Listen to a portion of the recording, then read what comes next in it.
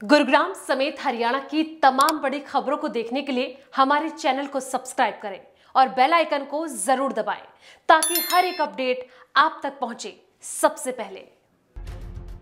हरियाणा में प्राइवेट औद्योगिक इकाइयों की नौकरियों में हरियाणा के मूल निवासियों को 75 फ़ीसदी आरक्षण देने के राज्य सरकार के फैसले को हाईकोर्ट में चुनौती दी गई। गुड़गांव इंडस्ट्रियल एसोसिएशन ने कानून को खारिज करने की मांग करते हुए हाईकोर्ट में याचिका दायर की है। गुरुग्राम के इंडस्ट्रियल्स की माने तो यह कानून इंडस्ट्री को दूसरे राज्यों में पलायन करने को मजबूर करेगा। इस कानून से इंडस्ट्रीज़ को कई परेशानियों का सामना करना पड़ेगा, जिससे अब हरियाणा में औद्योगिक इकाई चलाना बेहद मुश्किल हो जाएगा। और अगर सरकार इस कानून को रद्द नहीं करती है तो वह अपनी इंडस्ट्रीज़ को राजस्थान, उत्तर प्रदेश जैसे अन्य राज्यों में पलायन करने को मजबूर हो जाएँगे। ये कानून इन्होंने बनाया हम इसके अगेंस्ट हैं, क्योंकि एक तो पहले ये हमारे जो कॉन्स्टिट्यूशनल राइट है, उसके अगेंस्ट है।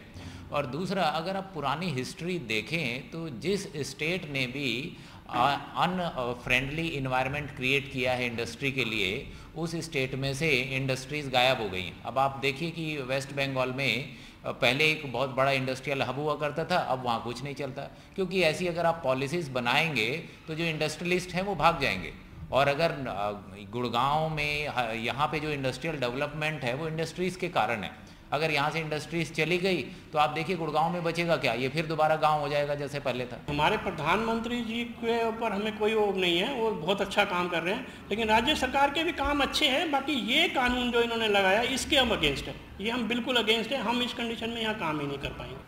भाई अगर ये कहते हैं और इस मामले में स्टिकनेस दिखाते हैं तो फिर हमें डेफिनेटली यहाँ से शिफ्ट करना पड़ेगा और हमारे पास कोई चारा नहीं है। बेसिकली हमारा देश तभी पिछड़े हुए देशों में आता है क्योंकि यहाँ पे जो प्रॉब्लम है यहाँ पे हमारे इंडिया में कि जो कैपेबिलिटीज़ के बेसिस पे जॉब वगैरह ना दे के यहाँ पे जॉब दी जाती है, हर स्टेट को जो मंत्री हैं अपने इलेक्शन के चक्कर में अपनी स्टेट को आगे करने की कोशिश करते हैं, जिसकी वजह से सबके काम यहाँ पे ख़राब हो रहे हैं। तो ये कानून बिल्कुल, अगर ऐसा कानून आता है हरियाणा में तो हमें यहाँ से अपनी इंडस्ट्री ले जाके किसी और स्टेट में ले जानी पड़ेगी, जहाँ पे बेसिकली ये प्रॉब्लम नहीं है।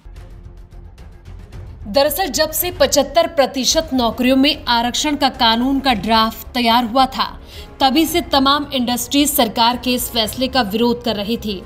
लेकिन उसके बावजूद यह कानून बनाया गया, जिसके बाद इंडस्ट्रियलिस्ट का कहना है कि आरक्षण योग्यता के आधार पर होना चाहिए, न कि इलाके के आधार पर, क्योंकि निजी क्षेत्र की नौकरियाँ पूरी तरह से योग्यता व कौशल पर आधारित होती हैं।